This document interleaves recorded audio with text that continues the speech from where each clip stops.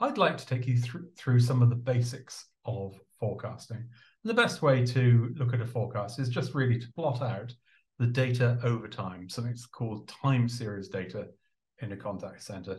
Monthly uh, information is quite good to look at. And what you'll see here is that you've got a, a sort of interesting pattern of data here.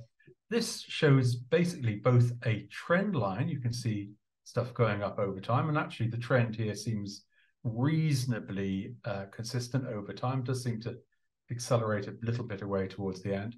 And what you'll spot is that there's also some seasonality. So for instance, every December, there's actually a little bit of drop off in traffic. This may well be because the uh, contact center is closed during that period.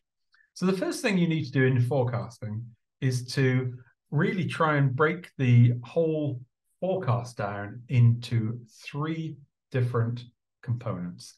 And that is what's called level, which is the level that you're at currently, the trend, which is the difference between one period and the next. And if you take the level and trend together, you can form a trend line, which is the overall approach. And also to look at the seasonality.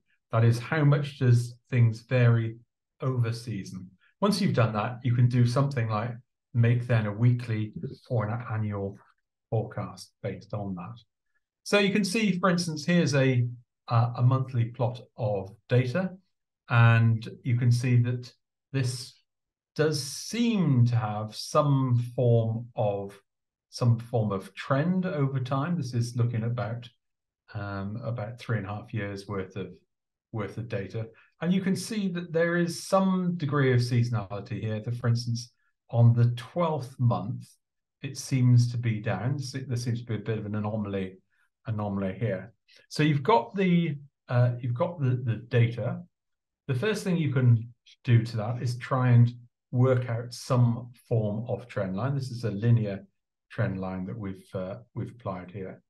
Once you've uh, got the linear trend line, you need to then try and determine some form of seasonal pattern.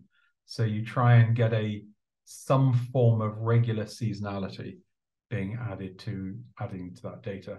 And then what you once you've built your seasonality model and once you've built your trend line, you can use that data then to predict off into the future. And one of the common mistakes that a lot of people tend to do uh, is working out seasonality is to basically say, look at 12 months worth of data. And one of the things they do is, for instance, here's a whole load of uh, contacts uh, from data. This is uh, made up data. So what you see here is that you've got a you know lower number of contacts in January, higher in December, and you basically add, add all of that together. That gives you a number for the annual contact volume. You then work that out as being 100%. And then to that, you can work out a percentage.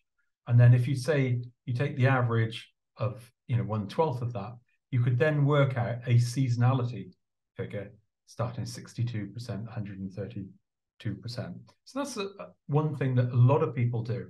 There is one problem with this, and that's that that's assuming that this data goes down. What you see here is that generally at the beginning of the year, the numbers are lower, and the end of the year, it's higher. So what you've got to work out is that you have to work out what the trend component is of that.